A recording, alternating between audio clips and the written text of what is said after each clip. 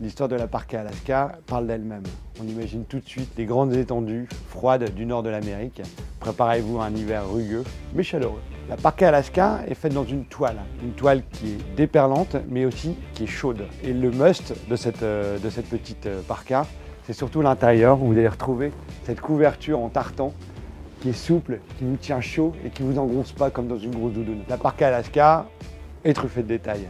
Évidemment, votre petit pic ici, caché sous la, sous la capuche.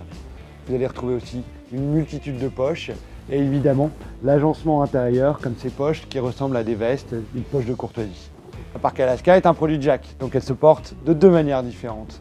Soit avec une veste pour aller au travail de manière assez formelle, ou tout simplement le week-end, préparez-vous à vous jeter dans la neige.